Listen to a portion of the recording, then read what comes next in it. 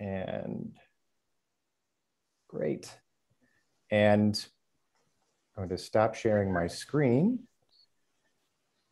And I'm going to pass it over to Ryan Morris of PVLA, who has been um, absolutely essential in the coordination of this event as well. And he will facilitate our conversation today. So thanks very much, Ryan. Take it away. Thank you so much, Tom. Uh, it's a pleasure to be here. And thank you uh, and the rest of the folks at GPCA for helping us to put this event on as well and for helping to get the word out to the greater Philadelphia arts community. Um, we're really pleased and proud to be partnering with you guys today. And we have a couple of great speakers lined up who I will introduce in just a moment. Um, but first, I just wanted to give everybody the benefit of hearing a little bit about PVLA, about the services that we offer to members of the creative community here in Philadelphia and to give folks an idea of the ways that we can maybe assist them or their organizations uh, in what? pursuing their creative disciplines. Um, hmm. so, as Tom said, I'm the executive director at Philadelphia Volunteer Lawyers for the Arts. Uh, we're a legal services nonprofit organization who, for the past 40 or more years, uh, actually, have been assisting individual artists, arts and cultural nonprofits, and creative small businesses in obtaining pro bono legal representation and consultation and uh, you know providing additional services in the areas of advocacy and educational services as well um, in terms of the clients that we work with and the folks that we represent the artistic disciplines represented in our client population we work with folks from from every creative discipline under the sun. I mean, we we ourselves are not experts in what is art, and I'm sure that if you asked 10 people on this call what is art, you get 10 different responses. So we try to cast a wide net and try to be as inclusive as possible um, for folks. So we you know work with the more traditional kind of conventional performing artists, musicians, uh, theater folks, fine artists, um, as well as folks who are in the sort of culinary arts, fashion, uh, digital arts, you know, animation, graphic design. Um, if you can ascribe or prescribe some sort of creative endeavor to it, we will seek to assist uh, folks in those lines of business and industries. In terms of the types of matters that, that we can assist with, um, by and large, the, the biggest area of, of assistance that we can provide and offer to artists and arts organizations is in the area of intellectual property protection and enforcement. So we assist artists in registering their works for copyright uh, or businesses in getting trademarks over their names and logos. Um, we also assist folks in licensing their intellectual property rights to others to allow the dissemination of their works um, and uh, to, to spell out the ownership of those works. Um, in the context of you know arts and cultural nonprofits, we also assist in matters of incorporation and governance. Uh, so we can provide attorneys who can assist in maybe reviewing bylaws of an organization or in setting up a nonprofit organization for folks who are looking to sort of enter um, the nonprofit arts space.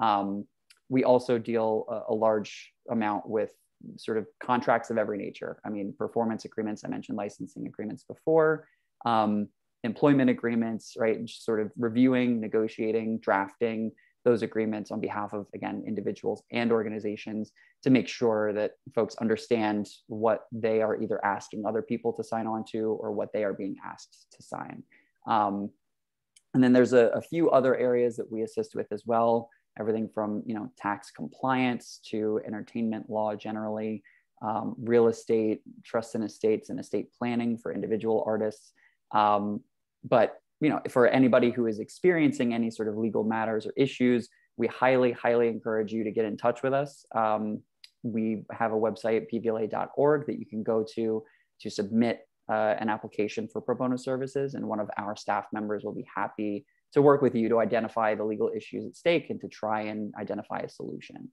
Um, so now, uh, after you know that sort of again brief introduction, um, I would like to get us started and, and, sort of kick off the panel discussion. And I'll start by uh, introducing each of our panelists in turn. Um, so first up, we have Sara Geelan, who is the Deputy Director, General Counsel, and Assistant Secretary at the Barnes Foundation, um, an institution that many of you are obviously very aware of in the Philadelphia area. Ms. Geelan oversees all the legal matters for the Barnes in her role um, as General Counsel, ensuring compliance with federal, state, and local laws and regulations, as well as uh, overseeing the institution's contractual obligations and ethical standards. She's also responsible for the risk management program with the Barnes and for overseeing the institution's insurance portfolio and has administrative oversight over the human resources area. Um, next up, we have Gregory Seltzer, who is a partner at the law firm of Ballard Spahr here in Philadelphia. Uh, Greg is an experienced transactional attorney who utilizes and combines his knowledge of legal, accounting, and business principles to provide comprehensive, practical, and creative business law services. In addition to his sort of general practice of handling mergers and acquisitions for larger, uh, you know, private equity companies, uh, Greg also has a good amount of experience in the music and restaurant industries, representing music producers, venues, and music festivals, along with several nationally recognized restaurants, bars, and retail food and drink establishments. In addition to his work as an attorney, Greg is also a highly active member of the music community here in Philadelphia and a spirited proponent of that community. Uh, he has actually founded and produces every year the annual Philly Music Fest, which is a nonprofit uh, sort of event that donates all of its proceeds to local musicians and local music education charities. So Greg is very well versed in, in sort of the music scene here in Philly. Um, and then last but not least, we have Jeffrey Triester, uh, Senior Vice President with Hub International of Greater Philadelphia, which is a division of Hub International Northeast, which is the world's fourth largest insurance broker, uh, which is pretty impressive. Um, Jeff has been engaged in risk and insurance management since 1990. So I'm terrible at math, but it, it, quite a long time. Um, and in 19, from 1996 uh, for about 23 years afterwards, Jeff uh, and a partner of his were working in a boutique commercial insurance practice prior to his joining uh, Hub International, uh, which was primarily responsible for local to global risk and insurance management projects for over 3,000 clients across a variety of businesses and professions, including performing arts, uh, it, both individual artists and arts and cultural venues. Um, so we have, again, want to thank each of our panelists for being on the call today.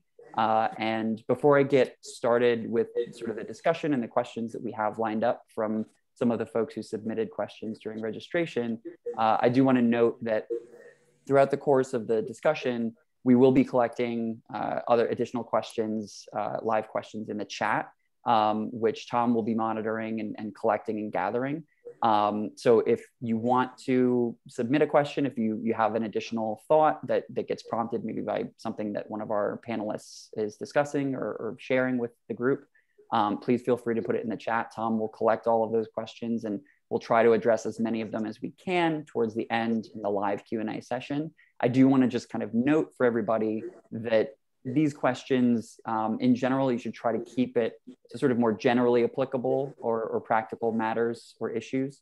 Um, we, we don't want to necessarily treat this as a, an opportunity for a one-on-one, what would amount to a legal consultation. Uh, obviously, if you do have a question that's a little bit more individualized or a little bit more specific, you can always feel free to contact myself or reach out to PVLA, and we'd be happy again to set you up with one of our volunteer attorneys to try and address that question for you. Um, but so without further ado, let me just get us started. And I'd like to start with sort of a, a contextualizing question, um, something to get us thinking about why we're here today, why we're here discussing sort of best practices for reopening. Um, and that is, you know, sort of what are some of the risks uh, that are associated for arts and cultural organizations and institutions around reopening to either the general public or to their staff members who may be returning to the office or to the organization's kind of headquarters. Um, so whoever wants to sort of get us started on that, um, feel free to jump in.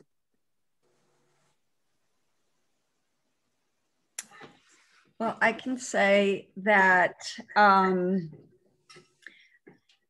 I don't know that there are a huge number of real litigation risks to the idea of people contracting COVID in your institution, whether it's employees or visitors. It's just there hasn't people have worried about it a lot, but there, to my knowledge, there has not been a lot of litigation on that where someone is going and saying specifically they got sick and it's the fault of a venue or an organization or an employer. The way we've approached the concern is more about, um, you know, compliance with regulations that were in place, and there were quite a lot. And so ensuring that we were complying with them, the liability that might be created from non-compliance, which you know it's different than from contracting COVID. Um, and to the extent we were creating rules either to comply with regulations or to create assurance and comfort um, to patrons or staff, we took seriously the and continue to take seriously the uh, liability that could be created in just not meeting the standard you set for yourself and you articulate, whether it's creating still the question what what exactly would the harm be done uh, mm-hmm. would have to be proved but you know we always worry as much about the reputational harm and the relationship harm as the legal liability so um, we consider those things together in ensuring when we set out the rule and the standard that we're going to comply with it if we change it that we're very clear in articulating what the change is and why gotcha Excellent. Ryan, I would I would jump in real quick and just drive off of something that Sara said. I think it's really important almost for every question that's going to come up. Um, and you, I think you used the perfect word is contextualized. So I, I think for every question that we're going to talk about, we need, when assessing risk, we need to think about the, the two groups of people largely that we're talking about. One is your um, obligation and the risk to a patron or a guest or a customer um, and then your obligation to your employees and staff, whether they're contractors or employees. And each organization will have, um, fortunately or unfortunately, it's just how the laws are written and how current practice is. You have certain obligations, actually, a heightened obligations for your employees and staff, as opposed to your patrons. Um, that's we don't have to get into the weeds, but it's grounded in the logic of patrons choose to come to the Barnes, for example, patrons choose to come to a restaurant or a concert venue. And if if they feel it's unsafe, you apprise them of the risks, you put safeguards, they don't have to come. Employees um, need to make a living, and the EEOC and a lot of organizations um, are, are laser focused on heightened uh, safeguards for employees. Um, sure, they have a choice to go work somewhere else, but that's not a choice that we're willing to put on an employee. So, um, you know, this is rooted in decades of law with, you know, unionization and safe work conditions. But for each topic that we talk about, you know, whether it's um, mask mandates or waivers, and I know we're going to get into a lot of that stuff, but we should always be thinking, um, are we talking about safety and risk of patrons and or safety and risk for employees? So so I just wanted to kind of throw that out there at the top. And then Ryan, maybe as we go through, if people have questions, we can try to isolate um, those two distinctions. Yeah, absolutely. I, I, definitely think that's an important distinction to make. And then Jeff, obviously, um, the the risk assessment guru over here. Uh, anything to add here? Yeah, uh, you know, I think that there is uh, typically a tendency for any business to use as its primary risk management technique um, that which transfers risk to an insurance company. You pay a premium, you buy a policy, and if a bad thing happens, there's a financial backstop to respond. Um, you know, this situation in many ways is altogether different. Uh, there isn't an insurance policy that's specifically going to respond to a COVID related issue. Um, but it doesn't mean that the risk can't be managed. And so I think that the the goal is perhaps to refocus on the management of risk that does not involve transferring it to an insurance company. There are some risks that can be avoided, but uh, practically speaking, to operate uh, any type of business, um, there are more risks that have to be retained. And so if they are, if those risks are being retained uh, as a necessity of operating the business, um, there are other methods that have to be sought to manage those risks in a way that create a safe workplace for employees and a safe uh, environment for uh, customers um, uh, to visit. So uh, again, I think there's a real need to uh, reorient ourselves in, in terms of how we manage risk from the typical uh, purchase of an insurance policy. Sure. Got it. So it sounds like adding further context to sort of the risks that, that are present, um, there's also this added kind of perception that there isn't the typical safety net that organizations might be able to rely on in the form of an insurance policy that, that they may have in place that that is not there for purposes of covid related incidents. Uh, is that right? That's correct. Yeah. Excellent um, so now that we sort of have that broader context and we've talked about some of some of the risks that organizations might face uh, i want to sort of start a conversation and, and start a dialogue around what are the methods that organizations can employ to try and manage those risks and to try to you know keep their workplace or their their events and their programs for patrons uh, as safe as possible to minimize that risk for the organization and its employees. Um, so i'll start with probably i think one of the biggest topics of conversation among arts organizations and, and really the general public which is the topic of, of covid vaccination um, and I know that there have been a lot of sort of questions that, that have surfaced uh, around the subject of, you know, can organizations require either their patrons or their employees to be vaccinated in order to gain entry um, or to return to work? Uh, so why don't we, we'll start with that question and we'll, we'll try to address that. Uh, um, I think anyone again open it to the, the three of you to respond to that. I, I can jump in just real quick with kind of the state of the the state of the world on that in terms of the law. Um, as you would imagine laws take a long time to um, come into fruition. Um, this vaccination law the federal government came out and said look that's going to be kind of a state by state um, decision. So um, i can speak to pennsylvania but pennsylvania actually is kind of the prevailing um, thought across the country right now. So the, the bottom line is employers um, and the EEOC came out recently and supported the following, which is employers can require their employees to be vaccinated. Um, so that's number one. Um, event spaces can also require their customers to be vaccinated. Um, that, that is a well, much more well settled principle but it was hotly contested in terms of can an employer require employees to be vaccinated? And right now, the EEO, EEOC is backing the thought that yes, they can, but states can make their own determination. Um, the, the second real kind of rub there is if an employee does not get vaccinated, can they be terminated? And that is not a settled question yet.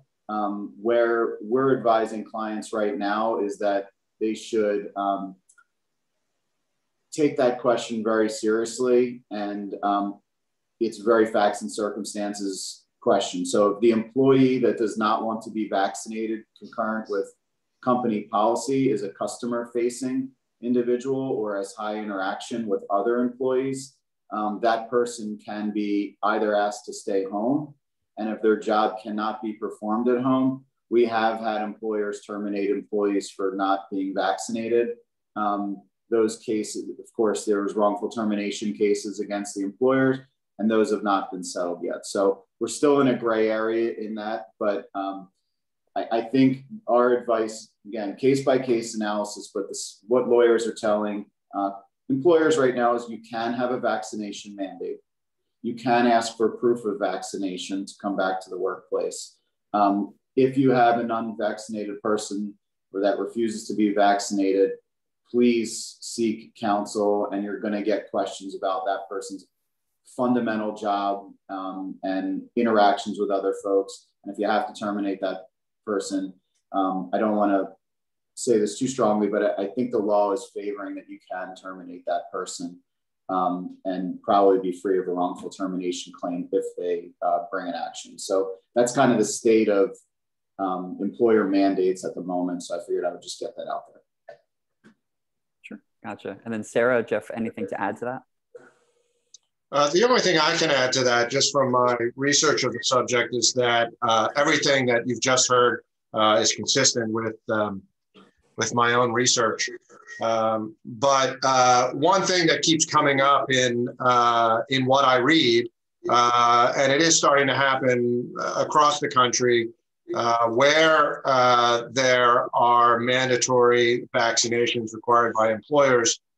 Uh, it does create a little bit of a minefield when employees resist the vaccination for religious reasons or medical reasons.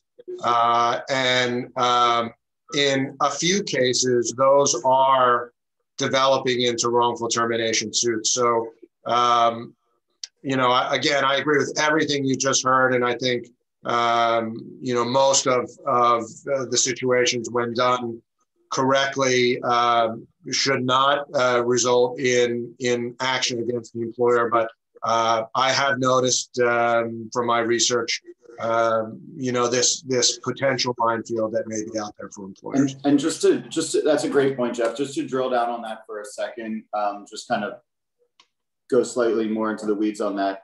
Um, I mean, if someone's objecting because of religious grounds or medical, um, now you're kind of getting more towards a protected class. Someone that does not want a vaccination is not someone that's necessarily in a protected class. And a protected class means that people in protected class cannot be discriminated against.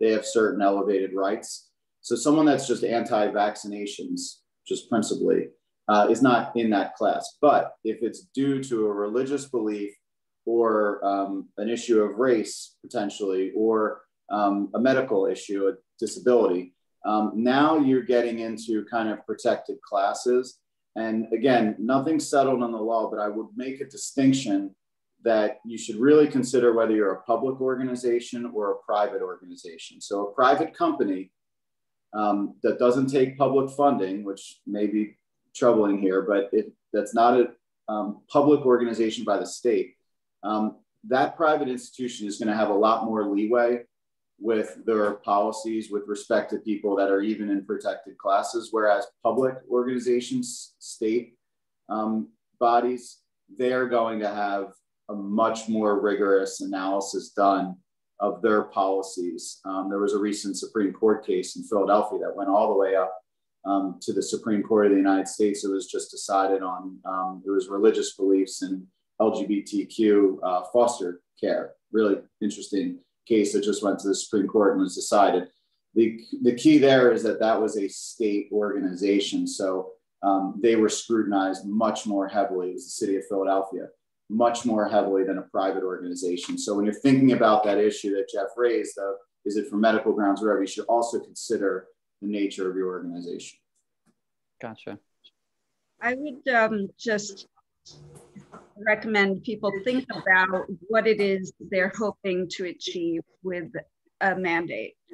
Um, if you just think it'd be really great to be able to tell people, hey, we're 100% vaccinated, or you know, you just think that's going to be an easy win. I think you just want to think through what you're going to do when you get the medical exception request, the religious exception request, whether you are really prepared to fire people who won't be vaccinated. What if they're your best worker? Um, and, you know, and if you are, maybe you'll win your case, but you might be spending time defending a case for someone suing you for wrongful termination. So, with everything in the scheme of everything else you're doing, of reopening, setting new policies, everything else. Is this how you want to be spending the time? Monitoring it. The EEOC has said that vaccination status is personal medical information.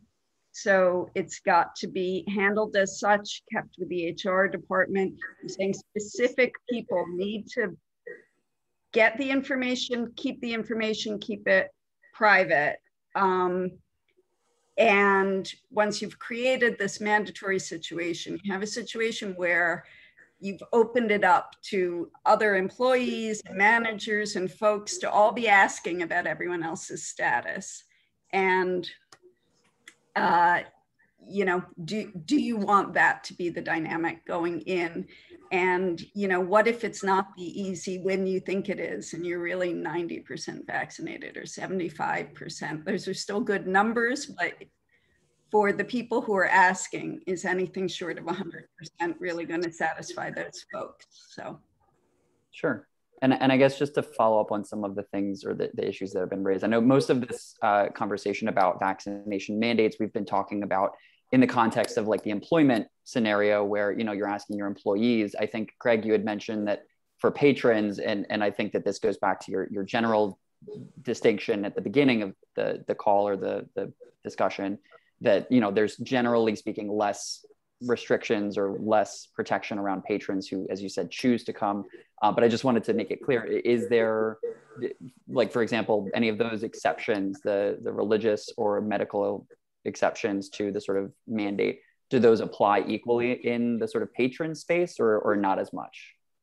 It's going to it, it's going to lean more towards the private organization's ability. Again if it's a if it's a you know if it's the capitol building for the state or if it's the you know a, um, some governmental uh, public park or something like that i think they will those organizations and those parks and city buildings will have a difficult time um, not admitting patrons and customers if they're objecting on religious or medical grounds or, or any other um, grounds related to um, a protected class. A private institution, uh, you know, just in my world, a lot of the music venues that I represent across the country, also big music festivals, which are mostly outdoors, so it's a little bit different. Um, but the indoor venues are requiring vaccinations. If someone does not have a vaccination, their vaccination card or showing proof of it, they're not allowed entry. Um, I did just for purposes of this panel reach out to a couple folks that you know are in ops at these venues. I said, hey, just out of curiosity, have you heard from people that say, oh, I want to go. I see you're requiring vaccinations. I'm not getting a vaccination because I don't believe in them, or um, and and if so, what are you doing? And and honestly, it was, it was a little surprising, but they've had very few people reach out and indicate that um, they want to go to a show or a concert or an event, um, but don't have a vaccination, don't intend to get one. I did ask, you know, what are the thoughts on letting that person in? Um, they said that they're probably not going to at this point until there's more data. Um, again, private organizations, no government funding. Um, you know, and, and I think that's legally sound, actually. I, I think they'll probably be okay on that front. Gotcha.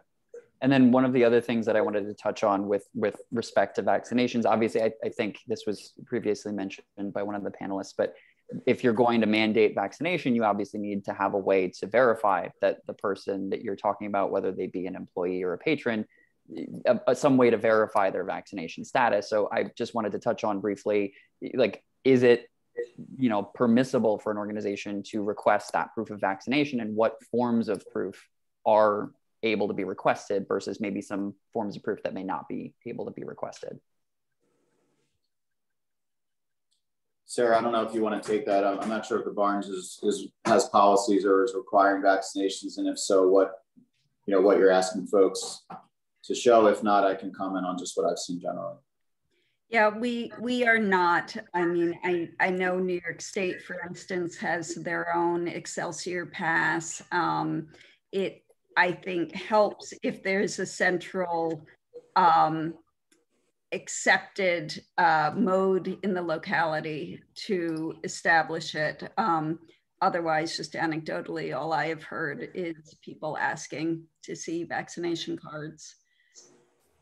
Yeah, and that's what I've seen too. I've, I've gone to some events um, and people are asking for vaccination cards. There's also some software that's popped up that's very easy um, that plugs into the ticket buying process where you need to upload when you buy the tickets for the event you have to upload your vaccination card and um, the software kind of reads the card matches it to the, the ticket buyer and you know gives a double thumbs up on the technology system and allows that person access. One footnote that i would say that i heard from a couple venues is that um, this sounds ominous but I, I think it does make sense i want to mention it that um, they're increasing their security budget um, and particularly their security budget at the door um, for very probably unhappy folks that maybe don't have the right documentation or that are going to be turned away. a lot of music venues and a lot of arts venues, um, you know, they just have, you know, regular security and it's usually protecting the stage um, more so than the door. Um, a lot of venues in the fall are thinking that some people, unhappy people, are going to have to be turned away um, if vaccinations are required for improper documentation or no documentation.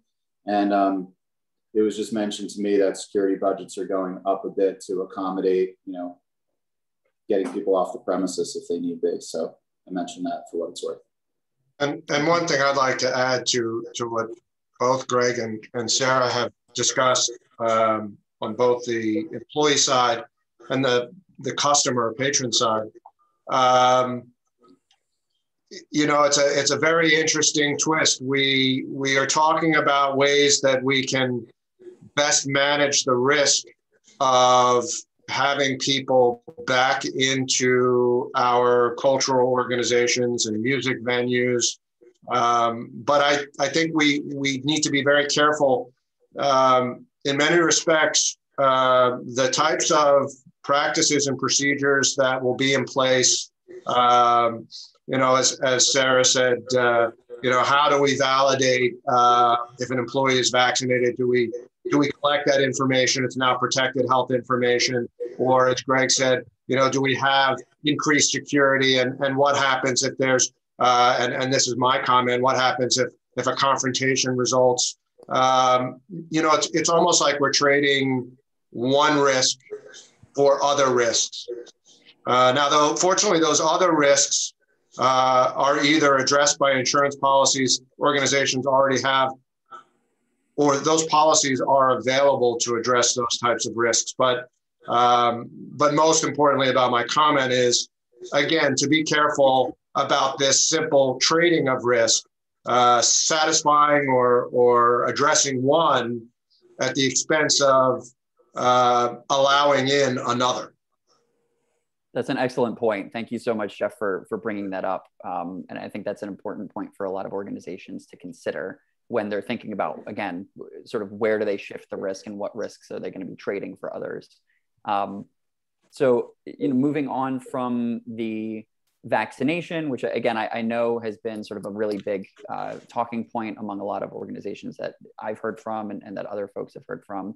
Um, i want to talk about just some of the other sort of safety practices or protocol um, that we've seen throughout the pandemic right? Um, in the form of covid testing masks, uh, social distancing. Just wanted to touch on each of these maybe a little bit more briefly, but certainly touch on them um, in the context of, again, both patrons and employees. Are there sort of best practices in place? Uh, how have those changed over the course of the pandemic? Where are we now? Um, so again, I'd like to open that up to, to the three of you to start, and then we can get into maybe some more specific questions as we go along. I'm happy to jump in. Um, it, one thing that I, and this is just maybe more of an observation, um, again, not a lot of law on this point, um, but it's, it's a little, it's interesting that with vaccinations, employers and venues are seemingly kind of getting their C-suite together, talking with folks like Jeff on risk, how can we mitigate, and really making a mindful, thoughtful decision about vaccinations. What should we do with vaccinations, right? And then with masks, um, when I ask the questions of my my clients and that, they just they say whatever whatever the the city mandate is, we're going to do. So there, it's just like more of a default kind of to the to the pronouncement of local government, municipal government, maybe even federal government at some point. But um, so that's what I'm seeing kind of on masks and social distancing, even like L and I and inspections, you know, with table distancing apart in restaurants. So kind of a different thought process. And I don't know if we have time to explore that concept, but that's just what I'm seeing uh, with respect to masks and social distancing and how that differs from vaccinations. Sure. And Sara, uh, I think you had a comment as well. Do you want to maybe talk about what you've seen in this space? Well, it just until recently, there the regulations were so precise. We were following a number of people per square feet, uh, you know, having plexiglass, distance requirements. Um, and we had to adjust those. You know, we, for instance, went from a mandate of five people per thousand square feet to 10 people per thousand square feet to 20 people per thousand square feet. So we were changing, you know, capacity and room restrictions, things like that. Um, when though, since those were sort of gradually lifted, uh, it was natural for us once they were pulled back altogether. By then, we were actually already back at our norm. So, and and if you know the Barnes, you know that we uh, we keep people pretty, pretty socially distanced anyway for the safety of the art. So, um, you know, in in that way, it it remains um, uh, sort of controlled, and it's one of the reasons we felt that museums were a safe place to open early. It's it's not a place. It's not a concert venue where people are on top of each other. Um, what what I think is the challenge for a venue opening now without those uh, restrictions is that you have to figure out what's the right thing to make people comfortable. So I've seen, for instance, some movie theaters saying, we are at half capacity, everyone can have a seat between them and the next person. Um, so again, as you know, I sort of said in my first comment, I just think the important thing is if you're saying that, if you're saying these things that aren't the mandate to reassure people, you better make sure you have good mechanisms in place to keep them up um, and figure that out. When they were strict mandates, there was a lot of time and effort put into signage, marking things off. If there were seats that you couldn't sit in, they were removed or made it impossible for people to sit in them. It's more difficult if you're being looser, if you're just saying, well, we only sold 50% of the tickets. Um, but I'm not going to be there if a stranger comes and sits on your lap. So, you know, I, I think those are the things people have to think about, and that gets into you can have rules, you can post rules, you can tell people their expectations, but are you training your staff to deal with the situations and the interactions they may have? Or do they feel empowered to tell someone they have to move, even if that person doesn't want to move? Do your employees feel supported that they're not going to be fired for ejecting a visitor who won't comply? So I think that's all the the process where you have to set the rule and back it up. Yeah, and Ryan, I, I have a question and follow up for Sara, but before that, I just want to reiterate and just completely agree that I mean, worse than not having a policy is having a policy and not following it. Um, that's just tried and true, litigated in employment and kind of invited guest case law. Um, so if you have a policy, you, you better be following it. Um, question for Sara, actually, I'm curious. Everyone, most people have been to the Barnes. You're very mindful about light on on the artwork. I'm curious. Um, have you given thought anything with air? Um, is there air? I see air purification systems and maybe would would that affect the art and stuff like that? I'm just curious if you've gone to the purification um, question yet. We absolutely did. We did that early in the pandemic. Uh, luckily for us, we are a very new building and we have systems that could do it. Uh, it sort of blows your your LEED and your uh, environmental yeah. concerns a little when you're bringing in all that fresh air, but we do have the capacity to still temperature regulate the fresh air coming in. It just uses a lot more energy. But we did that. There were mandates. Um, these are things also to look at. OSHA and others put mandates out. Um, I'm not sure if they've been pulled back yet. I would have to look at that. But uh, we, we, since we have been open since the last July, except for a brief closure over the holidays, we, um, we took that very seriously in the beginning. That's interesting. I mean, I've been seeing them at restaurants and now I'm seeing them at venues. I mean, Jeff, I wonder if premiums will come down um, at some point or if there's any effect of, you know, air purification systems on insurance underwriting. Um, I don't think it's going to have any impact, at least in the near term, simply because um, the issue of um, claims resulting from communicable disease, pandemic, COVID 19, um, you know, these are now strictly uh, black and white, spelled out in, in insurance contracts as, as not being covered uh, for most forms of coverage. Now, certainly workers' compensation still will respond to um, COVID 19 as a workplace illness. Um, and, and so, is it possible from that perspective that it, it aids any particular business in, in being uh, able to present themselves to underwriters in the best possible light? I would say the answer is yes. But in a general sense, um, you know, I think it really speaks a lot to um, the example that Sara gave about the movie theater operating at half capacity. And, and I think that, that there is this tug of war between what should be done from a public safety standpoint and what can be done from a practicality standpoint for that business to operate and operate profitably and for in many cases to catch up for lost revenue uh, during the pandemic. And so um, you, you, know while i think that is a great idea and and if i were uh, working with a client that had made the investment to have that type of system installed I would make the most of that uh, that I could with prospective underwriters uh, because I think it does speak to the quality of the risk. Uh, but in general, no, if everyone were to go out and do it, I don't think pricing would come down. And then to reiterate, I think ju- there's just this practical issue of even though you'd want to do it, can you in light of all the catching up you need to do revenue wise anyway? And you know you may not be a, a business that can operate at half capacity.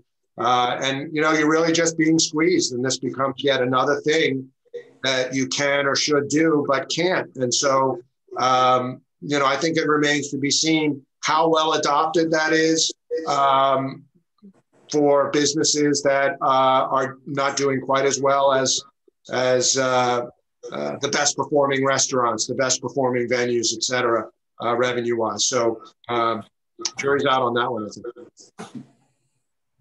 That's uh, all excellent points to talk about and touch on. I think that the main what I'm what I'm hearing here is sort of you know with the now lack of significant restriction or re- regulation in place around the subject of like COVID safety measures it's sort of a double-edged sword right? Organizations are a lot more free to determine what's right for them but there's this kind of there's this ambiguity almost of what is the right answer based on a number of different factors that have been highlighted by sara jeff and greg. You know what what can we practically achieve in terms of our, our staffing our, our capacity and in terms of our, our you know financial situation right? What what measures can we implement versus again what what makes the public comfortable to, and what makes our employees comfortable to come back and return to the workplace or to our, our venue or our place of operation. So that's really important, I think, for uh, takeaway for everybody to think about and to, to bring with them from this event.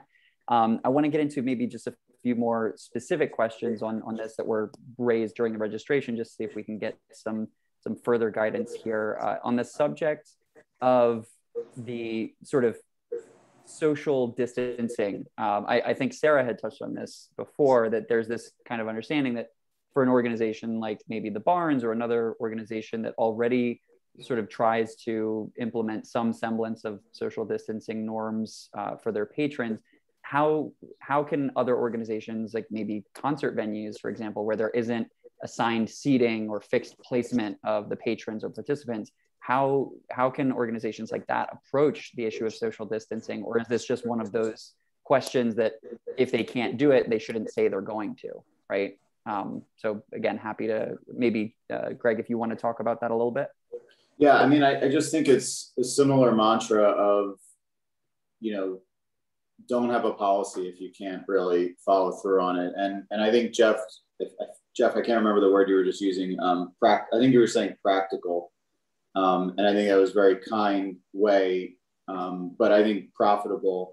is is also kind of an interchangeable word. Um, I, I think that a lot of businesses are recovering. Some got PPP funds, some got other disaster funding, and you know, social distancing needs to be weighed with the health and the you know ability of the business to to perform and be open. So um, I, I actually just think that social distancing is kind of going to um, be relaxed quite a bit in event spaces. Um, and I also jotted down a note with respect to social distancing that you also have to, I think, consider what type of business you are and what type of patrons you attract um, and be mindful of that. Um, so I'm, I'm, not sure what the median age for the Barnes is, but, but let's just say that it's slightly older than like Firefly Festival in, um, you know, or like Coachella or something, right? So right. Um, the risk of injury or health risk for you know a music festival that is predominantly you know 16 to 22 year olds or something like that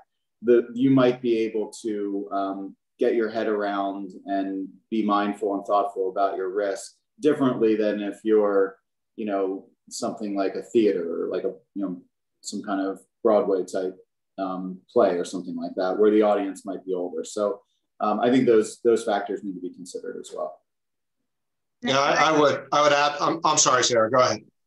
I, I was just going to say that you know, and we may get into waivers or assumption of risk, but um, sort of the inverse of the policy is just to maybe make clear to people coming in there aren't going to be social distancing measures you know, just so that people know what they're getting into and you don't have that bait and switch, you know, or to say people are welcome to wear masks if they want to, they're not to be required.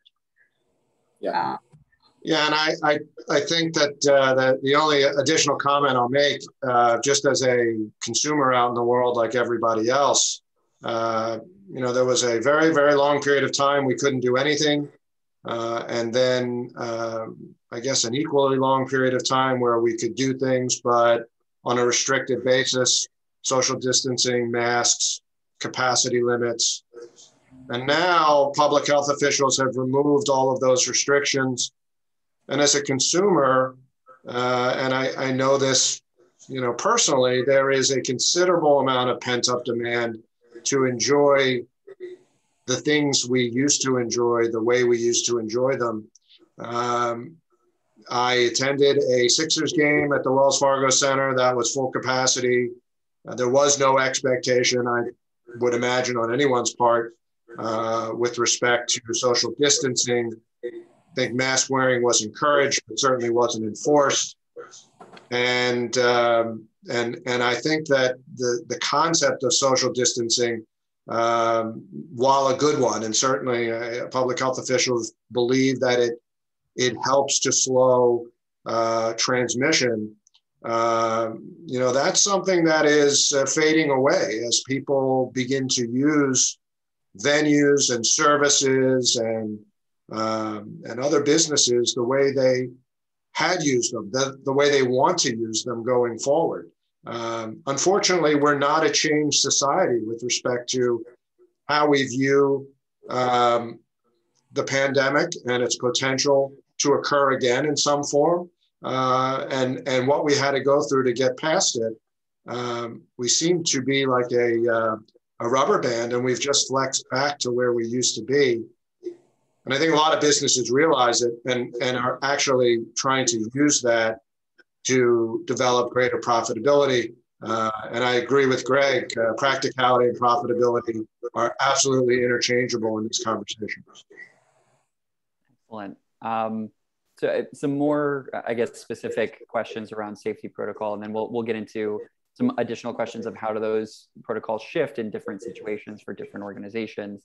Um, but generally speaking, with regard to like COVID testing and masks, um, there was actually a specific question that came up during registration of uh, an organization who had wanted to explore the concept of you know, let's say if they do have a mask policy and somebody shows up at the door and they, I mean, it happens to me all the time, right? I forget my mask in my car or I forget it at home and, you know, I'm, I'm there, I have my ticket ready, but I just can't get in the door. Like, is there any risk associated or, or is there any kind of conception around like organizations providing masks to people, like having just a box of disposable masks available at the door for people to pick up? Like, is that acceptable practice? Not acceptable practice? Um, any would, would welcome any comments or thoughts on that.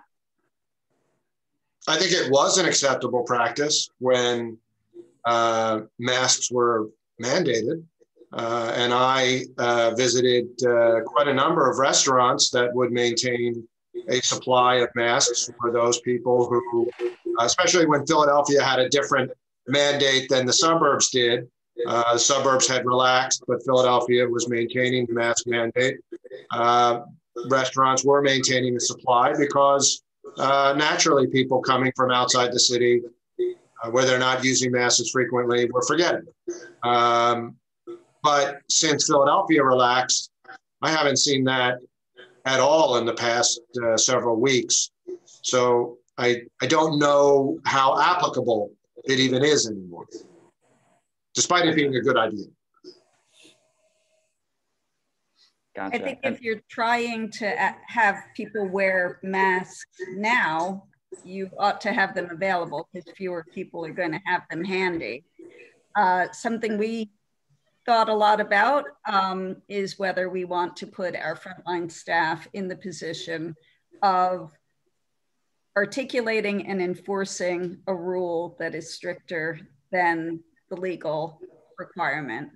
Um, it's a tough position to be in and to, to have a policy argument with someone who doesn't want to wear a mask anymore is challenging. So industries that do require them by law, like airlines, have a hard enough problem. And I, you know, just whether you want to invite that problem.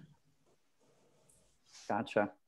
And then um, in the context of, of COVID testing, right, eh, are there sort of established best practices at this point around like what kind of tests organizations should require if they're going to require one? I know, um, Greg, you and I have talked in the past about sort of you know temperature checks at the door or asking people to provide proof of a negative test like a clinical or self-administered test uh, within a certain number of days of an event um, is, is, that still you know what i guess what are your thoughts or what are you hearing from venues on on that subject so it, it's interesting um, on I guess broadly, I just want to make the distinction again between patrons and employees and staff. So I, I think, you know, testing for patrons and um, you know, temperature checks for patrons, masks for patrons. I think we've, we've covered that, and I'll mention temperature checks in a second. But with respect to staff, I think um, periodic COVID testing, if that is something that your employer,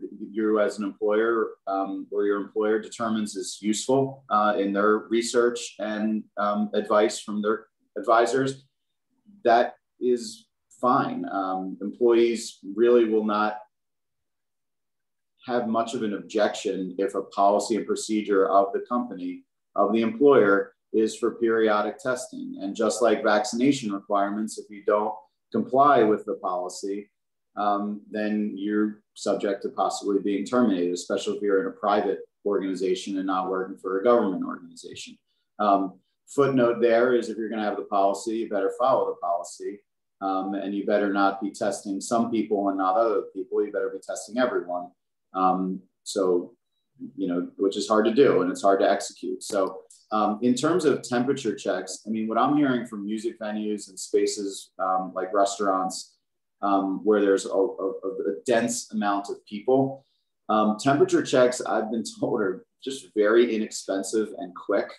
And venues are continuing to use them, um, not restaurants as much anymore but I think large music venues and, and event establishments will, just because it kind of just keeps everyone comfortable. And if it, it, it's just kind of a light touch, low expense, quick measure at the door, um, that if there is an issue, if you're in Jeff's lap of um, a claim or something like that, um, it's just one other thing you can point to that says you are being diligent as, as a space owner um, and you know, if, if someone says, yeah, well, that does not really even proven to be effective, that's not really the issue with the people I'm talking to. It's more of like, um, let's just do it. It doesn't hurt and it's quick. So I think you're going to still see temperature checks um, at doors for music venues and event spaces. Gotcha. Any any other thoughts from Jeff or Sara on that? Uh, otherwise, we can I think move on. Okay. So um, we've talked about obviously some of these safety protocol and, and, measures that organizations can employ and how they can employ them with the sort of bigger takeaways of there's differences in the employment versus the patron space around you know how tight these restrictions are going to be. And then also um, things for organizations to keep in mind around if they establish a policy can they enforce it? Can they maintain it? Um, how, what are some of the factors uh, like for example how how does being I, I, think we all know that sort of like indoor versus outdoor spaces right? If we have an outdoor music festival versus uh, an indoor exhibition space like the Barnes you know um, the, the, perception that i have is is that that sort of impacts the how strict the restrictions need to be just from a kind of public perspective standpoint. Um, but then how do these guidelines and maybe specifically guidelines around vaccination um, or testing like how does that differ for organizations who work with youth or elderly populations? Uh, right we have a lot of organizations i'm sure who have sort of music or arts camp kind of activities for young adults who maybe are below the eligible vaccination age. Um, so how, how might that impact an organization's decision making um, in, in regards to what measures they want to employ maybe i'll just jump on that quick, and I saw, I just want to answer, I think I saw a question in the chat, it disappeared before I could see it, all about, maybe it was about temperature checks and what happens if someone, you know, has an elevated temperature at, at the door, what do you do? Um, let me just, um, let me just tell you what I've heard from venue staff on that, and then Ryan, I'll switch over and kick it to Jeff and Sara on the outdoor, indoor, and elderly youth populations. But for a restaurant, it's going to be difficult from what I've heard in terms of temperature check, you're probably, if the restaurant has temperature checks and you have an elevated temperature, I think you're going to have a problem coming into the establishment if that's their policy. Um, as I said, I think restaurants are moving away from temperature checks, but if they have one, I think they'll enforce it. With a venue, what I've heard is that venues, in addition to increased security, are going to probably have some medical professional at each event. Um, it'll just be someone on staff. It could be a nurse, um, and they're going to pay that person whatever they need to pay them and bake it into the ticket price and the model. And my understanding is if someone has an elevated temperature, maybe it was just 100 degrees outside and, and they're just running hot, um, that person will not necessarily be turned away at the door. They would be consulted by um, a nurse, maybe go into a separate designated area, be consulted by a nurse, maybe another temperature check in 15, 20 minutes once they cool down maybe ask them a series of other questions about their symptoms. And then that professional in the venue will make a determination whether they can enter or not. I think if you are going to have temperature checks and at a big venue like a music festival, you're going to have to put some thought into the question of what happens if someone, um, you know, has a has a temperature. Now, I I've also been told that there's a difference in feeling between festivals and venues. Um, if someone lives in Philadelphia and they go over to Johnny Brenda's or World Cafe Live or in Ardmore, Ardmore Music Hall, and they just have a fever and then the nurse or the practitioner can't resolve it, that person might be turned away and, and they may be heading home. If someone's traveling from Georgia up to Firefly Music Festival in Delaware and the Newport Folk Festival, it's a little more difficult to try to turn that person away. So I've heard that festivals are going to take a lot more time and be more thoughtful in remediating you know someone's coughing seeing coughing or something like that. They need that you need to have a consequence for that. Um, and i think festivals and large outdoor gatherings are probably going to be a lot uh, more tolerant of those of those folks. Maybe require masks or something like that. Um, but sara and jeff will let you tee up the indoor outdoor um, age population um, I'd say on, on the, uh, the temperatures, again, you should probably have a policy. So we had a policy that said specifically if somebody uh, has a temperature, they will have the opportunity to cool down and take their temperature again at a certain, after a certain time. If they didn't want to wait around, they didn't have to, but that we held the line and it was clear on that. Um, you know, on the practicalities, having a generous refund policy always makes sense. I mean, if you're turning someone away but not giving their money back, you've got a bigger problem. Um, my understanding is museums that cater uh, largely to children are um, continuing to require masks. And that is more about the consumer preference that they think families are more likely to come if they are required uh, rather than recommended. And so uh, I don't specifically know about uh, places geared towards elderly populations, um, although, you know, anecdotally, the elderly populations are uh, some of the most highly vaccinated and not always um, so interested in there being higher uh, requirements than necessary. Gotcha. On the Jeff. indoor outdoor, the um, restriction, there used to be different sets of restrictions. All that's lifted now. So hmm. um, you know, it's the comfort level. Some people, I think, are preferring outdoor venues still and prefer to know their outdoor options. But the, the, the, only thing that I would add, um, and, and it's to reiterate a, a comment I made earlier, um, and, and so I think I think Sara, both Sara and Greg have said. You know, if you're going to have some some practice or procedure in this regard, make sure it's followed.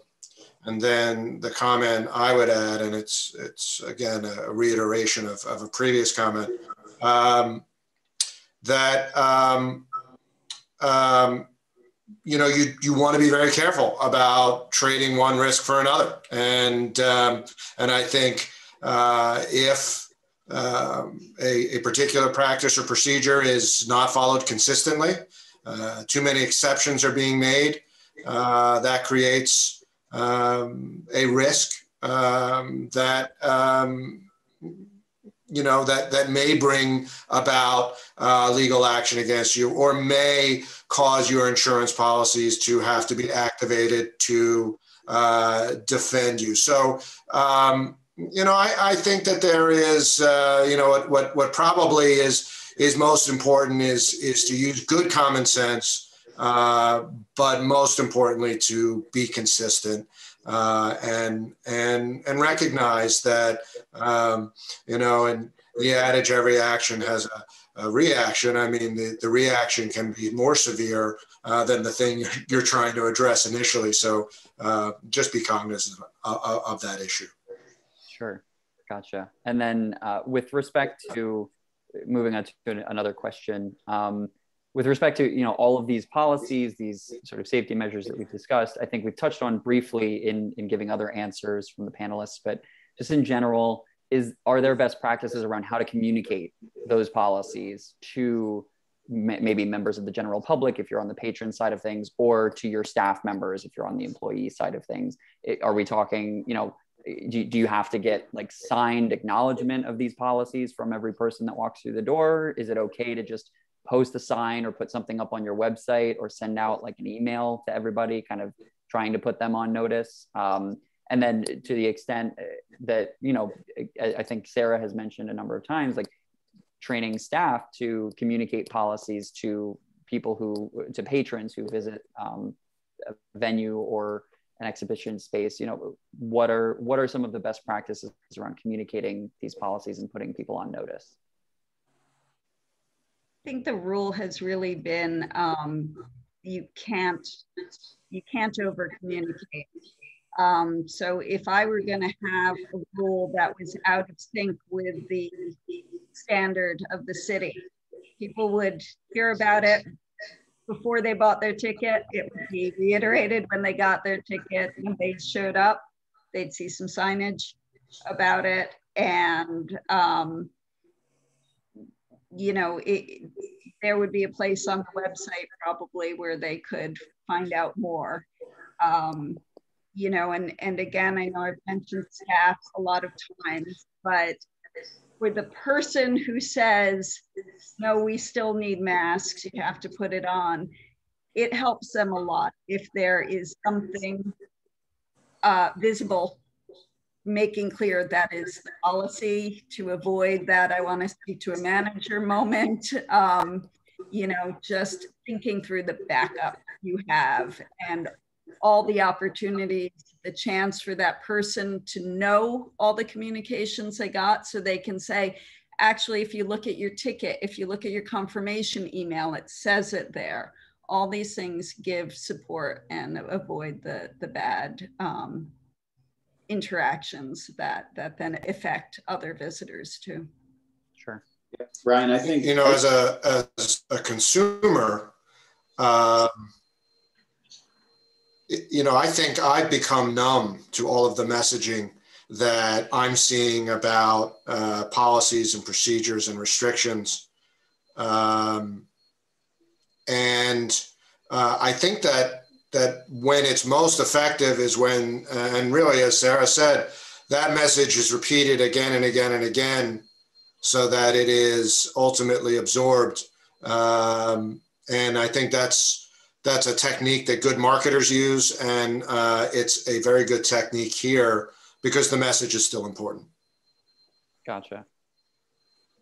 And I would, Ryan, I would just add point of sale. I mean, you know, every business is different, but try to try to have the messaging some somehow adjacent or commensurate with your point of sale. If that's at the door, great. If it's online in the ticket buying platform, have something there. Do I think you need it to be like you know, a click wrap um, you know, click through on the ticket buying where you accept to follow the terms and conditions or the policies you're getting. I don't think that's necessary. It's a nice thing to have if you think that your consumers will not be bothered by that. Like Jeff said, a lot of people now are unfazed to just click whatever they need to click to get the ticket to go to the thing. But um, if that's problematic for you from a software perspective or or it's just something you don't want. I don't think you need a written acknowledgement or electronic acknowledgement, but I would try to have the policy somewhere adjacent to the point of sale. Um, some people like, and I think Sara makes a good point. You should also probably have an area on your website for someone to click a tab to go and see what the what what the policies are of that organization. But I don't I don't know that I'd feel comfortable. Maybe it's just personal experience and not legal advice of just having the tab with the policy and not either linking to it or having it somewhere, excuse me, somewhere um, adjacent to the point of sale. Gotcha. That's excellent. I think uh, sound advice all around. Um, and then uh, one one other kind of unique question that came up in, uh, from someone during the registration is obviously we've talked about in the context of like a vaccine mandate, for example, what happens if you have an employee who indicates, you know, they, they refuse to get a vaccine. What do you do in that situation? And we talked about some of the exceptions that might need to be made to that rule. Um, but what do you what do you have if you have an employee who feels uncomfortable returning to work, right? Who is not comfortable going back to the workplace? How do you handle that situation, and how can you handle that situation as an employer? Sara, I don't I don't know if you've tackled that as as an employer. Um, just curious. I can give you my perspective. I'm just curious if you've had that situation. Sure, we definitely have. Um, you know, obviously, it depends on the job. So some jobs can be handled differently, um, and the policy of the institution. Uh, you know, some are deciding to remain remote. Um, and or being very flexible and everyone can do what they prefer. Um, and others are saying, no, we're coming back to the office. And uh, the Barnes has always had jobs that had to be on site. Mm-hmm. Um, and we have had people who have said throughout, you know, they don't feel comfortable, they don't want to take mass transit. Um, and we you know, that has meant some people have resigned their jobs mm-hmm. because mm-hmm. of it. So, um, you know, somebody not willing to comply with a requirement of the job is cause for termination. Um, that's not going to be a controversial um, issue. So you certainly can. Um, if you are getting a request for an accommodation for a disability or medical reason, um, it's the same rules as there have ever been. You know, you might have had an employee with a bad back who said years ago that they can't do their commute and they need to work from home. And uh, you may have needed to go through a process to see whether you could make that as a reasonable accommodation. So um, those rules still apply and you mm-hmm. can follow those. If you decide to go the middle route of saying, well, you know, we'll we'll consider your request and maybe we'll let you be remote, then I would just caution that you um, have some good processes in place to make sure that you're being fair and equitable in those decisions and that then nobody has a claim for discrimination when you say, well, you know, these three folks who I've always liked can work from home, but these two that I've never liked they can't, um, maybe you can justify that with documented performance issues and then that would be okay. But you know, if if there were some protected class issues um, distinguishing the two groups of people, I'd be very careful about that, and I would think about that. And I might well, um, consult with an employment lawyer if you're mm-hmm. about to roll out a set of rules for what coming back to the workplace is and uh, make sure a neutral eye thinks that you have some good neutral object uh, criteria. Sure. And then Greg, you, you said you had uh, maybe a few other comments as well. Yeah, I mean, it, it's it just depends on the employer and it depends on the, the risk of the person at issue. Um, you know, for example, at the law firm, we've very easily um, kind of pivoted to remote workforce. We're a services organization um, with you know decent technology that we got in the hands of our folks, and it was kind of simple. Um, most of my clients did not have that experience, especially in retail and events and, and music and performance. Um, and they, as Jeff said, they've had a, a lot of them that have had a tough 18 months or so. And I think that we cannot look down upon them for not being able to be as accommodating as you know an institution that has a, a, a big budget or endowment or a, a, large law firm that has the ability to, to make implement those those those things so um, mm-hmm. we have to be mindful and conscious and we can't always put um, overtax those organizations to be accommodating if they have someone that is not wanting to be vaccinated or what, what, what, what happens. That said, it's incredibly important to evaluate the risk of terminating that individual. And this is not really um, isolated to COVID and these issues. This is, this is your protected class folks. So if you have someone that's not comfortable um, and you're considering terminating that person, if that person is over 40 years old, if that person is, is you know, racially or ethnically diverse, if that person is in, um,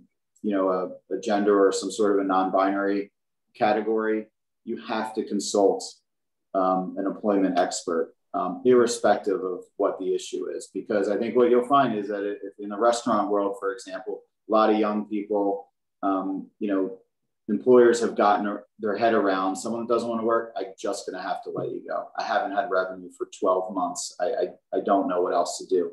Um, but if the, the person is in a protected class, that calculus is going to be different. So um, it's probably the best I can give you on that of, of, sure. of how to kind of think through it. Yeah, and I mean, I think it sounds like an opportunity for folks who, again, maybe on the call, if if you do have these questions, if you do have staff members and you want to know sort of what your organization can or should do, like come see us at PVLA. We can try to set you up with one of our volunteers who work in the employment space and, and maybe get a consultation um, on that, that basis.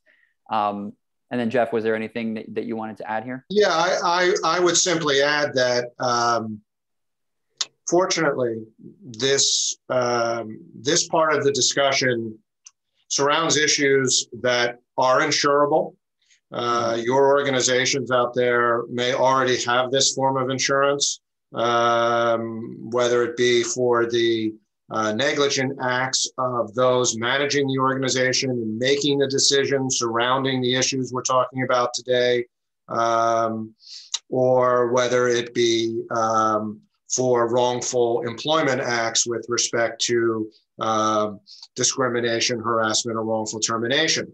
Uh, the point I would like to make here, though, is that uh, like any insurance policy, uh, what your organization has purchased is a legal contract between your organization and the insurance company. And like all legal contracts, they differ from one to another, from one insurance carrier to another, from one policy type to another. Um, and we're really, as a society in uncharted territory, uh, we're talking about issues we, uh, as business owners, as consumers, uh, as citizens, we've not had to really deal with in our lifetimes. And, and so um, I would strongly suggest that um, organizations uh, revisit uh, their executive risk uh, forms of insurance protection uh, with their insurance professionals, with their board members, and, and other stakeholders. Make sure there's an understanding of what the organization has, what it doesn't, what's commercially available in the marketplace that they could have to fill gaps. Um, this is an area where insurance can be relied upon for both legal defense and a financial backstop for any judgment or settlement that may result against the organization. But whether it performs in um, a way that um, you would find predictable or acceptable um, really is determined well before a claim has ever occurred. And the time is right now to revisit these issues uh, and make sure that what is in place uh, is appropriate for the uh, protection elements uh, your particular organization needs. And Jeff, would the would the Google search term be EPL coverage, or what, what would people look at? Is that kind of the buzz term, or yeah, I, I, would say uh, a few a few buzz terms. Executive risk is one. Um, directors and officers liability, another employment practices liability um, would be a third.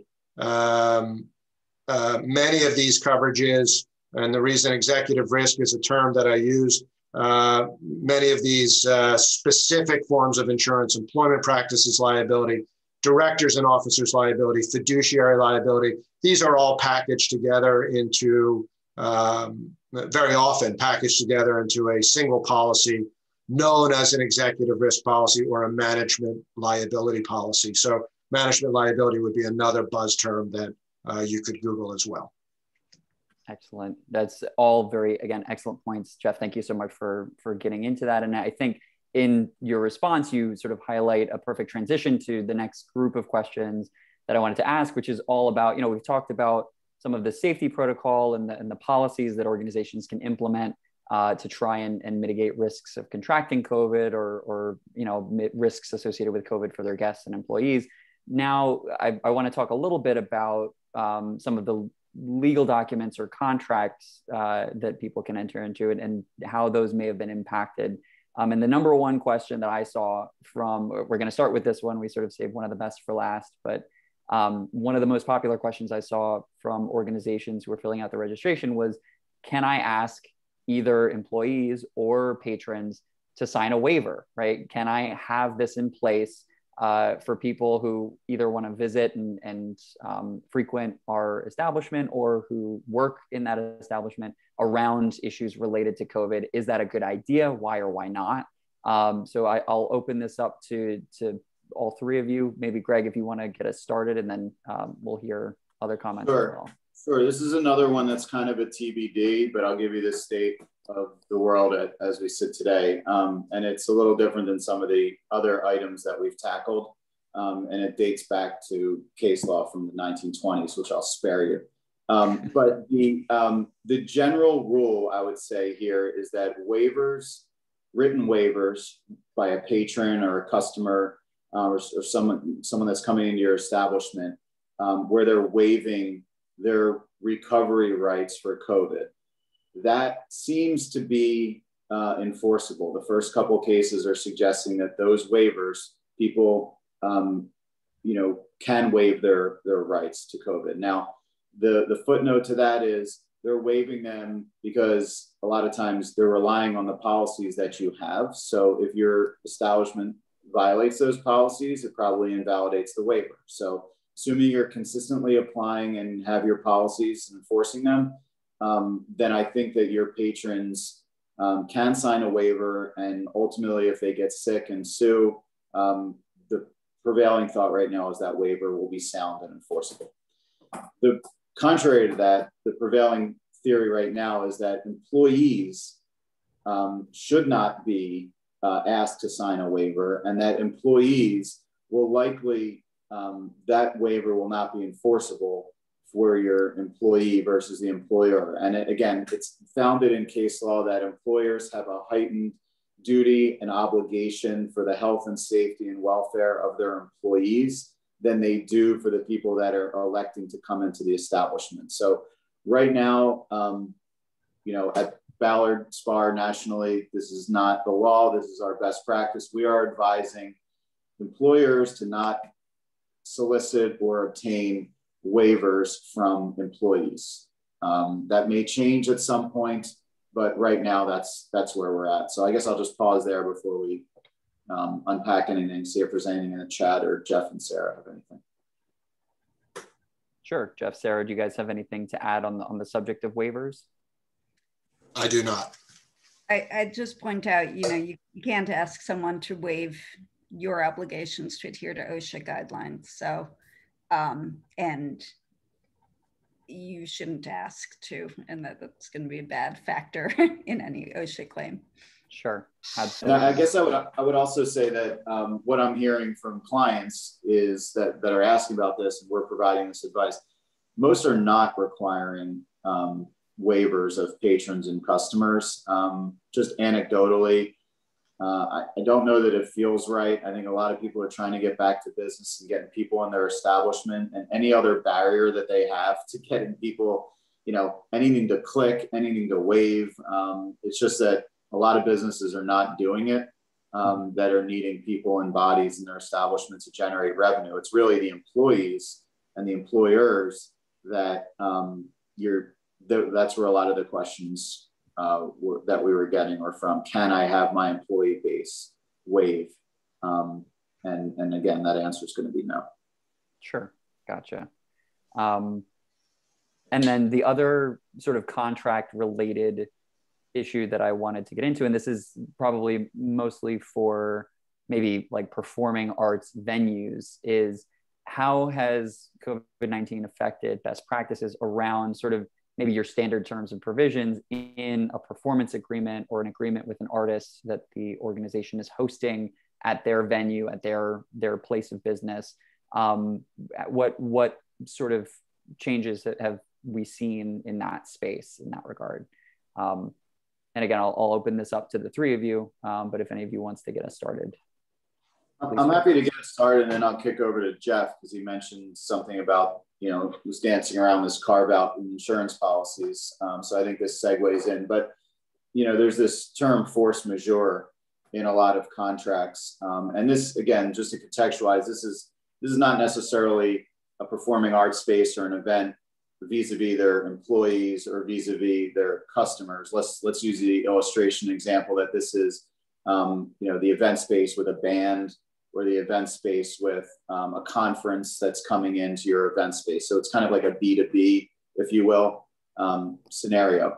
So the force majeure provision in a contract will say that if one party breaches that contract because of an earthquake, um, because of any other natural disaster after 9 11. Terrorism was added generally to that definition. If it's because something like that, a force majeure event, the parties will not be necessarily, there's some exceptions, but in breach and be able to recover from each other. There's a massive earthquake and a band was supposed to come to the venue. They can't get there. Um, basic contract law would say there, there was an unforeseen event, a tragedy um, no party has recourse against the other for the obligations in the contract. So what you're seeing now is people are saying, well, what about a pandemic? That seems pretty, pretty natural disaster-ish and unforeseen. Well, now it's foreseen. So in the beginning of COVID, the first couple of months, maybe there was been some arguments about that, and those cases are not even yet through the system. But now the prevailing force majeure provision will carve out specifically pandemics in a lot of the contracts that I'm dealing with. So it basically means that if there's a spike, if you have a contract with an artist or another business and the Delta variant starts raging in the fall, um, can you get out of that contract? No obligation, no harm, no foul. The answer I can assure you is going to be no. It's because we all know that we're in the pandemic. We know that that's a possibility, and you have to build that risk into your contract, maybe explicitly saying that if there's a pandemic related issue, I will pay half, or we will reschedule, or we will renew, or we, something like that. But it's not going to get you a force majeure event. And Jeff, I'll kick it to you, but I think that's what you were kind of riffing on earlier, where the coverage is not going to pay for um, a pandemic related loss. It's just kind of a riff on the same topic. Yeah, absolutely. Um, you know, I think uh, if we use the the 9/11 example of um, how the insurance marketplace evolved uh, to cover terrorism events, uh, eventually it was because of uh, legislative action that took many years to achieve, uh, which created a federal backstop, which would allow insurers to uh, provide terrorism risk protection. And um, we are uh, quite a ways off from achieving the same thing. Uh, if, if that's the direction I, that I think it is, the direction we're going, uh, where there will be a legislative solution for um, that will allow for coverage to be provided by insurers with respect to pandemics, communicable diseases, and um, uh, specifically COVID nineteen. Uh, you know, just in the moment. Um, really, to echo uh, a bit of what Greg was saying. You know, in in my world, even when an issue is insurable, um, to manage that risk as effectively as we can, we uh, very often um, use the concept known as contractual risk transfer. And really, what we're saying there is that uh, if there are any legal means contractual means to limit your exposure. Uh, Greg said, sure, if, if, if force majeure is not going to be a remedy, maybe there are other, uh, there's other wording that can be built into the contract to limit the exposure in the event, uh, in his exam- example, the Delta variant rages and, and uh, an engagement has to be called off.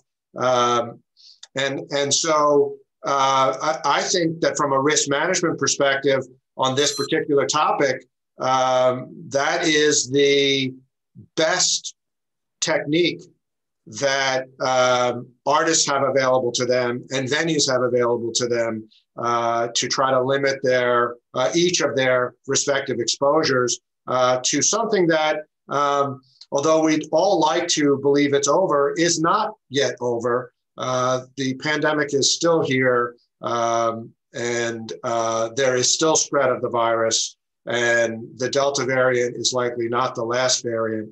And so we'll be dealing with this for quite a while.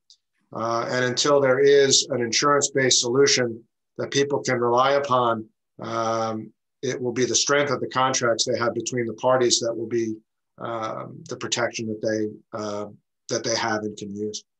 And, and, just to give you the buzzword real quick, that was Jeff made a great point um, on you know reducing your risk. You know if you want to look for these provisions in your contracts and then reach out to ryan he can he can get someone to help you. So the one it usually is called force majeure. By the way these these are very important provisions. And as you would expect they're buried usually in the back of the contract like after you're done reading. They're always like the last two pages. But so look for the force majeure. And then the other one that jeff mentions see if your contract has i think jeff and the way i would normally see it is a mitigation clause. Yeah um, in a contract where you have the obligation to mitigate your damages. So you can't just incur a loss and just say, look to the insurance company. You actually, or look to the other party to cover it if it's not insured. You have the, you know, the absolute affirmative obligation to mitigate your damages if that provision's in there. So um, that can apply in all different scenarios, but just be mindful of that if you um, are experiencing a pandemic related loss, you, you will be, you know, for example, if, if there's a couple employees, I'll try to give an illustration, I guess, a couple employees that have gotten sick um, and you want to sue another party or you want to sue or try to get insurance coverage, you can't just stay open. You, you might need to close and you might need to go through an evaluation of should I reopen? Is this more? So you got to be thinking about um, kind of curtailing and mitigating your risk if you have that obligation in the way back of your contract. So you should check that out. It's a good point, Jeff. And, and by the way, just to add, um, um, or to extend the comment that I made earlier about this is the time to reevaluate the insurance contracts that you have and, and whether they appropriately address the risks that we face today.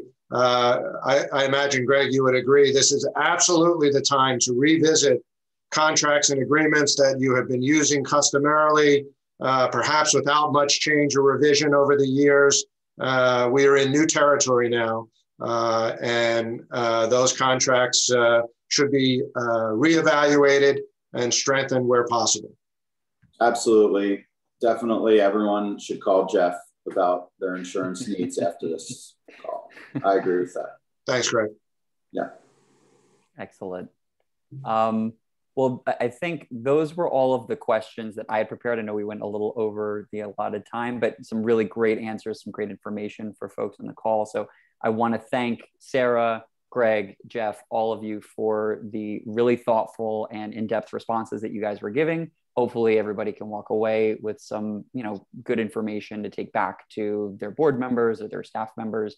Um, and I want to turn things back over to Tom, who, as I mentioned, has been collecting and, and gathering questions from the chat so we can spend a little bit more time just addressing those questions as needed. Um, so Tom, whenever you're ready, take it away. Sure. So um, certainly a lot of questions related to vaccination status, um, and but at least one that I thought it might be nice to change gears around, um, and I'll just uh, ask these questions word for word as they were presented in the chat. Um, Bill Rhodes asked, um, can we discuss standard practice for content reuse lic licensing if such a thing exists? Many of us have produced videos for streaming and would like to present this content in the future, which I thought was a nice change of gears. I guess I can speak to the fact that, you know, when these are the intellectual property um, considerations that should have been set out in the agreements with, um, you know, I, I'm not sure if you're speaking about this as work done for, you know, and, and something like a work for hire um, situation or um, even just getting rights from all the participants in uh, in productions uh, you've put together. But you know, the Barnes, for instance, did an enormous amount of uh, online content, things we normally would have presented live. We instead presented online. So uh, you know, in advance of doing those, we usually gave people releases, said specifically we were going to record, set out uses for which we could do it. If we were the ones recording it, we also we hold the copyright, so we were getting right of publicity and um, and privacy releases from the participants. Other times we work with someone else and they're producing the content, you know, and there'll be provisions in there about who can use it and who cannot use it. Often it's quite important to the uh, original commissioner of the work that the uh, that others don't use it. Um, you know, we tend to require that anyone doing work for us can only use that content for portfolio purposes and can't use it publicly. So I'd look back to the contracts or, um, you know, recontact the people involved and make sure you got the rights settled. I will add that this is uh, an insurable issue. Um, I work with a quite a number of production companies, and the greatest risk that they face, in my opinion, uh, is um, what happens when um, their content, their production, their matter is disseminated to members of the public uh, and viewed or heard, uh, and the response is an allegation of a rights infringement. Um, once again, this is an insurable issue. Um, another opportunity for for those in the position of having acquired content they'd like to reuse or or produce content uh, to make sure that their insurance contracts are adequately addressing uh, the particular exposure of the allegation of a rights infringement by a third party uh, who has been in receipt of the matter that's been disseminated. Thank you. Um, I'm going to try to combine a couple of questions here um, from Julie and from Kate, um, sort of asking about requiring um, um, vaccinations and uh, providing proof of vaccination for um, volunteers uh, as well as program participants. So folks who may have signed up to take a class or you know attend a workshop at your your space. I can jump in on that one. Um, the first one I, I, think is pretty straightforward. The second one I just would confirm, and I don't know if you can, Tom, but I, I mean those to me sound like patrons or customers. I, I don't know if the sole purpose of the of the workshop is just what they do, but it sounds like outside folks that are not employed contractors, employees, interns of the organization. So just kind of third parties. Um, I, I think for the volunteer, um, I would consider volunteers um, exactly the same as employees and um, contractors and, and interns. Um, the law is shifting around on that. A lot of the law is shifting around on that in terms of payment um, non-paid volunteers, um, you know, with payroll taxes and things of that nature and, and, obligations to those folks, which I don't want to get into. But for your volunteers, I would treat them just like your staff. Um, if, if you're requiring vaccinations, you should require vaccinations of your volunteers. If you have a mask mandate for your staff, it should apply to the volunteers as well. Um, I would think of the workshop attendees just similar to someone that's attending a concert or an event. Um, so any policies that you have that extend to um, those sorts of events, I think you would, uh, you know, extend those to people participating in, in a workshop voluntarily. Or um, so, those are my thoughts on that. I don't know, um, Sara, if you have volunteers at the Barnes or anything, if that's germane.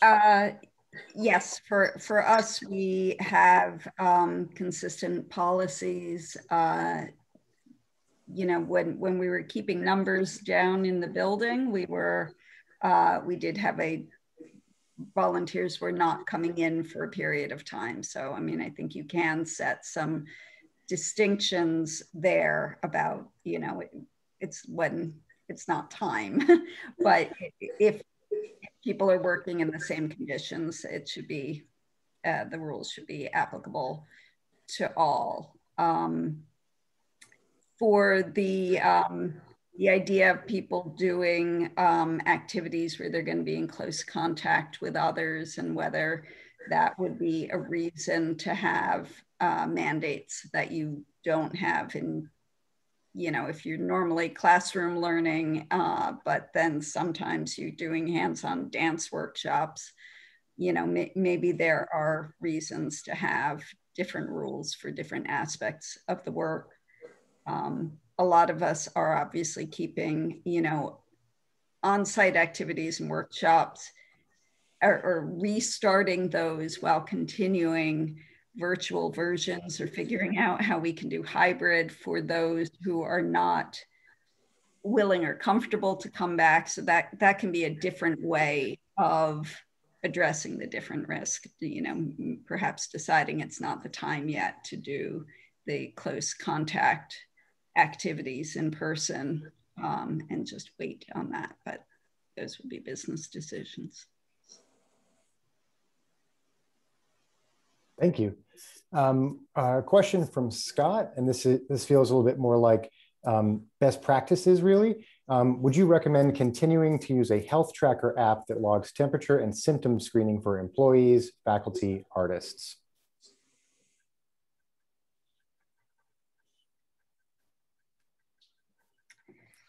I guess I would just go back to the general theme of if you're going to use it, you better use it consistently, and you better have processes for, you know, the adverse uh, results. Um, so I, you know, I, I have I don't have a lot of familiarity with those those tracking tools, but um, I just think consistency, being mindful of protected classes and not discriminating, and then also just kind of having a plan in place to the extent you you have an adverse trend or impact.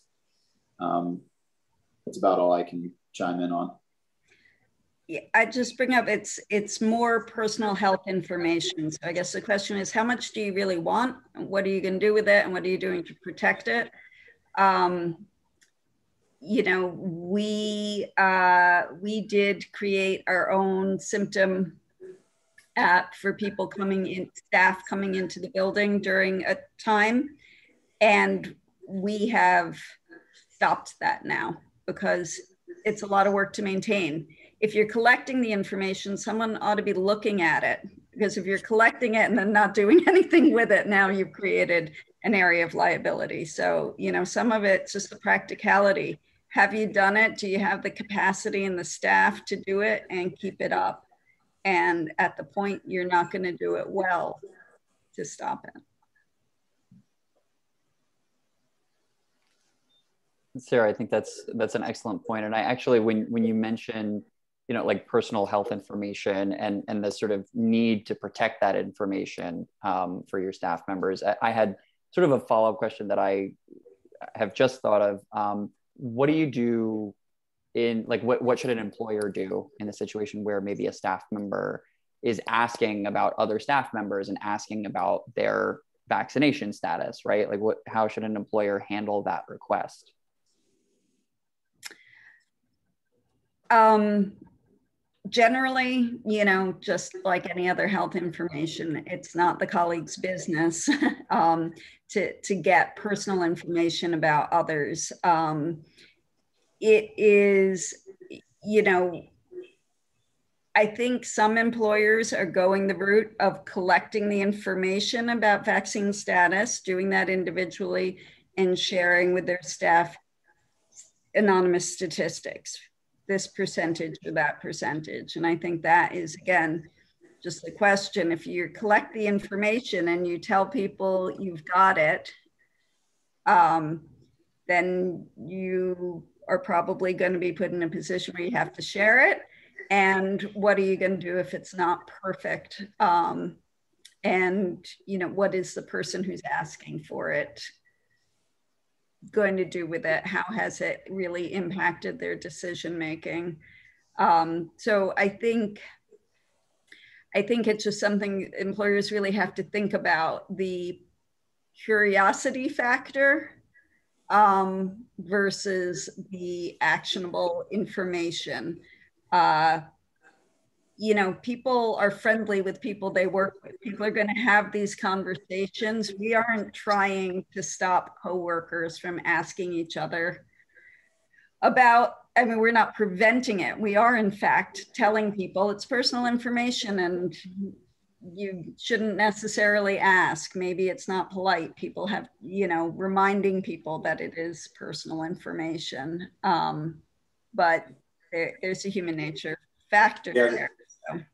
Yeah, there's there's a nuance there that again I don't want to express my opinion, but it's it's really I think we're dancing around kind of HIPAA a little bit, and um, I don't think you know, it's it's not a deep dive into it, but there is this nuance out there that our HIPAA experts and benefits experts are considering. Of the, the principal question is whether vaccination status is health information.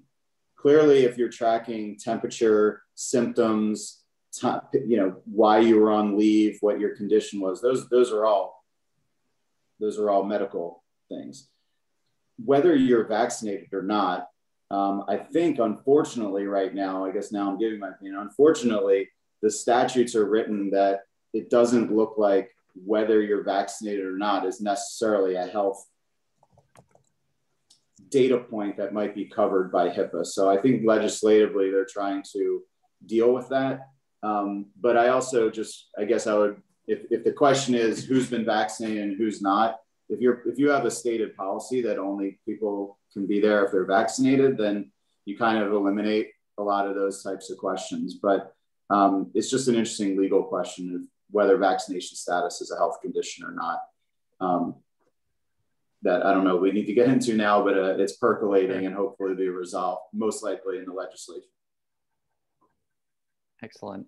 Thanks both of you guys for for answering. That was just sort of something that came up in my mind, and and I'm kind of curious to to see how that shakes out as well. Yeah, uh, Greg. Well, that that concludes the um, all the questions that we. Uh, well, I guess there was more, one more question, Jeff, which was, um, did anybody uh, ask you for your vaccination status when you went to the Sixers game? Absolutely not. Um, and would that create a liability uh, for the Sixers or for Wells Fargo or whomever? Not Wells Fargo, but for the you know, stadium. For the, if if uh, they would what create the liability? Um, not having asked, not having asked, and then yeah, I think that's the question. I'm, I'm the I'm the I'm the super spreader. Um, I, look, I I think it. Uh, I I don't know if if if the uh, th- this goes back to a lot of what we said during this discussion. If the uh, procedure of either the team or or the venue was to ask the question, but they didn't ask it of me, uh, then I suspect there's an issue there. If if the as was the case, if there was no procedure in place to ask the question, um, then I I don't know that it creates any any degree of liability. I mean, that really is a legal question um, since neither is is an insurable event. But um, I, I, yeah, I'm not really sure. I, uh, what what I can tell you is that um, you know they did not ask me or anybody, so I guess there was consistency at least in that. I mean, my legal response is that they, that team has other liabilities that they need to address um, on the court prior to giving more thought to the policies off the court. Enter at your own risk, and let's get some ball handlers. I think is is the answer to that question. Well, um, thank you all, and I I think that a, a, few folks may be trying to um, squeeze some questions in at the end. Um, and unfortunately, we are, uh, I want to respect the time of our panelists and Ryan and really everyone else who was able to join us today. So Sara, Jeff, Greg, thank you all so much for being here. Um, I think that this is, um, that you're able to provide this level of expertise and insight to um, Cultural Alliance members as well as just members of the cultural community is really huge. So thank you so much. Um, uh, and also, you know, on behalf of the Cultural Alliance, thank you so much. Um, I'll just, uh, you know, plug one last time um, that we, uh, the Cultural Alliance is, um, you know, inviting interested folks to join our arts marketing collaborative, and I'll send out some information to registrants um, afterwards. Also, this event has been recorded and it will be available for free um, on philaculture.org. Um, and uh, we can also send out a link to folks who registered um, who, who would like to be able to access it if you had to um, you know, arrive late or leave early. Um, and uh, of course, if anyone does have questions that um, you know, might be relevant to folks at uh, Philadelphia Volunteer Lawyers for the Arts, you can reach out to me and I can help connect those dots um, but they are online and you can reach them that way as well. So again, thank you all so much for being here. Thank you, Tom. Great. Everyone have a great afternoon and stay safe, stay cool. You too. Take care.